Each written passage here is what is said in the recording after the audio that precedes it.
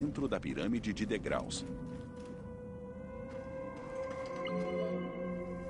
O arquiteto da pirâmide de degraus, Imhotep, era um homem de grande importância para o faraó Djoser e antigos egípcios em geral.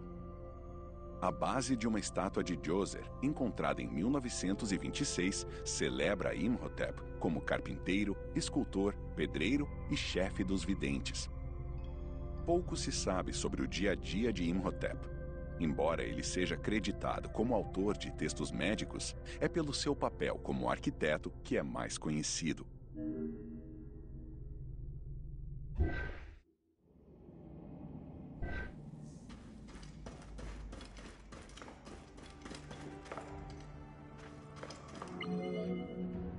Do design da pirâmide aos elementos dentro do próprio complexo, Imhotep empenhou-se para criar algo que imortalizaria seu rei. Um marco arquitetônico, a pirâmide de degraus foi feita de blocos de pedra ao invés de tijolo de argila. Foi a primeira vez que os egípcios construíram um monumento tão alto. Imhotep explicitamente queria que as pedras refletissem materiais naturais, o complexo funerário de Djoser permaneceu famoso durante séculos e milênios, e seu grande arquiteto Imhotep foi divinizado por antigos egípcios durante a época baixa.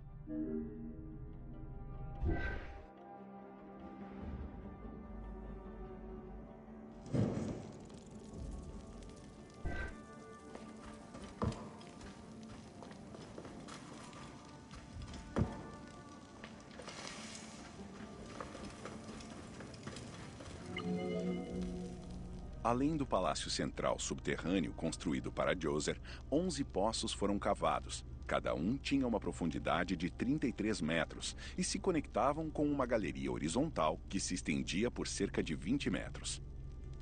As primeiras cinco galerias eram para membros da família real.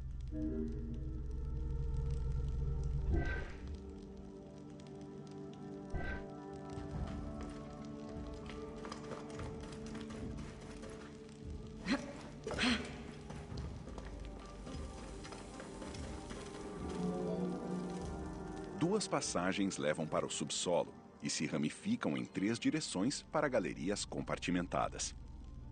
Este vasto espaço subterrâneo acomodava seções para guardar objetos e oferendas cerimoniais.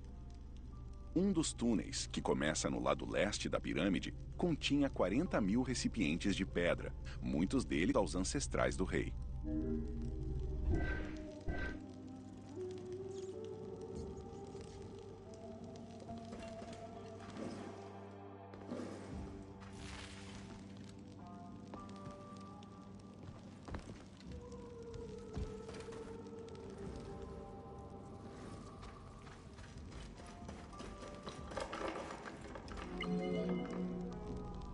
A câmara funerária de Djoser está localizada no fundo de um poço central de 28 metros. De acordo com o egiptólogo Jean-Philippe Lauer, a câmara foi originalmente feita de blocos polidos de calcário, enquanto o teto estava decorado com estrelas de cinco pontas. No entanto, em algum momento, os blocos de calcário foram substituídos completamente por blocos de granito rosa, deixando para trás apenas fragmentos decorados com estrelas.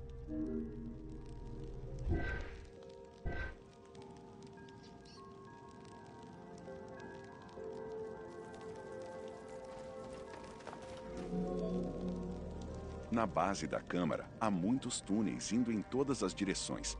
Este labirinto de túneis, galerias e câmaras se estende por mais de 5 quilômetros. Há vários trajetos sem saída e portas falsas. Talvez tenham sido destinados para a vida no além, em vez de enganar ladrões.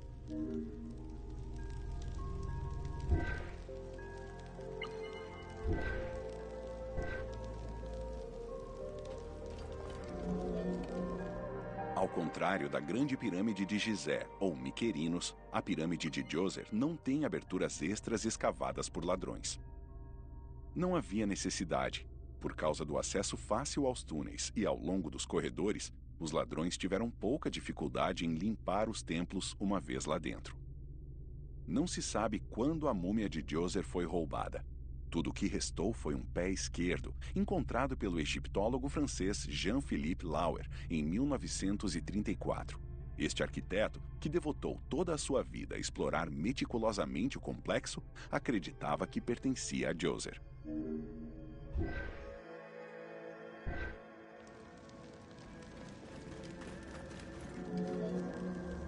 Os aposentos do faraó, ou câmaras azuis, são decorados com azulejos azul esverdeados, feitos para imitar os tapetes de junco que cobriam as paredes e janelas do seu palácio.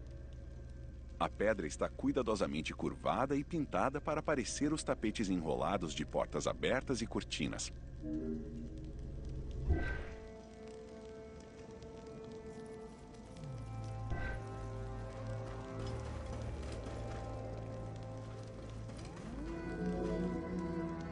Há duas salas compridas localizadas ao longo do eixo norte-sul. A sala sul tem portas falsas separadas por painéis de pedra, enquanto a sala norte é um corredor que permite acesso a câmaras laterais. Câmaras próximas originalmente acomodavam os tesouros do faraó.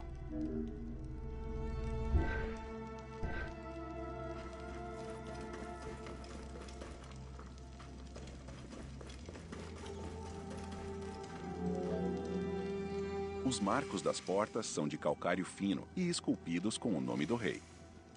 Como na tumba sul, relevos estão gravados nos marcos, eles realizando rituais e visitando santuários divinos por toda a eternidade. Seus interiores são adições fictícias feitas pela equipe para realçar as maravilhas da tumba, os detalhes elaborados e a escala do complexo evidenciam que este monumento funerário foi uma maravilha tecnológica da sua época.